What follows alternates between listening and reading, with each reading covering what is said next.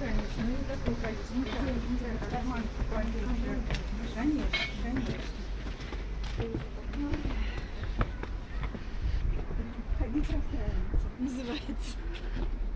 Сидишь себе, ну, было, ничем таком не было. А тут, понимаешь,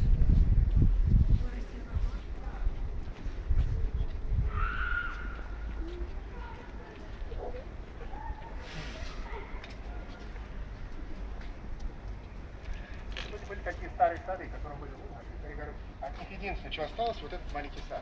Вот эта часть сада действительно в общественном пользовании. Каждый желающий, не желающий вошел, заторчал, вышел. А вот то, что там, вот эта бирюзовая усадьба, там уже частная собственность. Вот, соответственно, вот кирпичная кладка идет, все, что за ней, это уже в частных руках. Ну, там организация, вообще-то когда-то им принадлежало в свое время, в Белушкове, там, вот все это дело. А потом была, мне кажется, такая прямо сеча при Хохловке, когда местной общественности им удалось бить, отжать вот эту часть зала, ну, сада. И вот этот сад, на самом деле, Морозовский, это усадьба Морозовых. Тут даже Сава Морозов жил детстве. Ну, предприниматель известный, с родителями. Далее был детский сад, сегодня на в частных руках. И вот в этом саду были известные люди в свое время, бывали в Петербурге, сюда заходили. Когда-то Федор Достоевский, тут, при, а, значит, в Терке, по-моему, приезжал, и он здесь ходил гулял.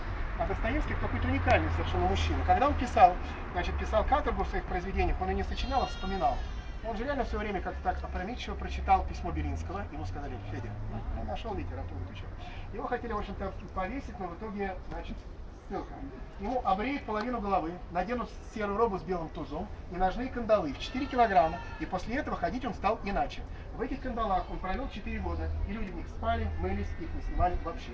Он писал «Преступление и наказание». Будет момент, Родион Раскольников говорит, вот эту бабку процентщицу мы уже завершим и биографию пораньше.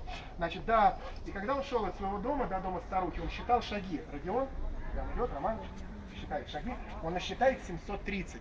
А те, кто роман прочитал и кому понравился, они в Питере пошли тем же маршрутом, от дома до дома. И шагов будет гораздо меньше. У Достоевского от кандалов остался вот этот короткий шаг, ну такая усеченная походка. Он действительно 4 года пройдет в Остроге, 4 года в солдатах. Да, его отпустят, и он поедет, значит, по Европе. И там была история. Германии, небольшой городок, он подойдет к рулетке. И вот то, что он там увидел, соответственно, это крутящееся колесо, этот шарик, ему настолько увлекло, понравилось.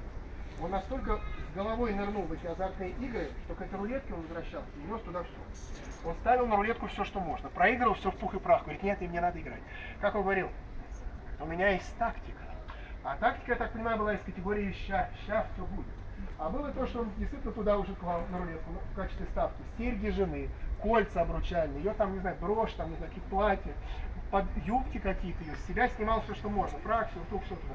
Я так понимаю, стоял уже Федор Михайлович, таком в одном из подним, говорил, да, вышло как.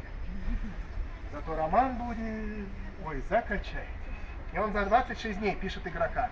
Он спешил, потому что если бы вылез на второй месяц, он бы терял права на написанное. Вообще Достоевский, когда писал то, что он писал, вот там он главный герой. У него, как ни у кого, много персонажей, которые такие же, как он, с приступами эпилепсии. И он эти припадки описывал так точно, с точностью врача-клинициста. Даже вот специалисты говорят, мы читаем, это удивительно. Это с точностью, знаю, вот волосы человеческие. Настолько идеально описать состояние. Вообще, Достоевский с, с этими ну, припадками эпилептика, он что говорил?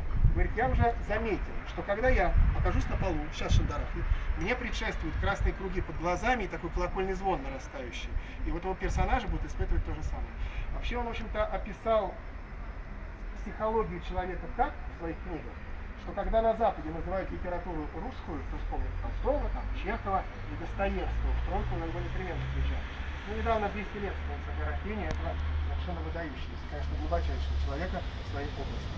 Ну и вот этот сад Морозовский, где он располагается, вот, кстати, когда будет тепло, и дикий виноград, он идет вот здесь, вот всю эту ограду, особенно ближе к осени, он будет иметь оттенки от бурого до красного, это как аж палитра будет сумасшедшая. Тут очень будет живописно. Чуть попозже, когда флора уже, в общем-то, разовьется более активно. Ну а рядом тут есть храм, храм с легендой, легенда достойна кинематографа.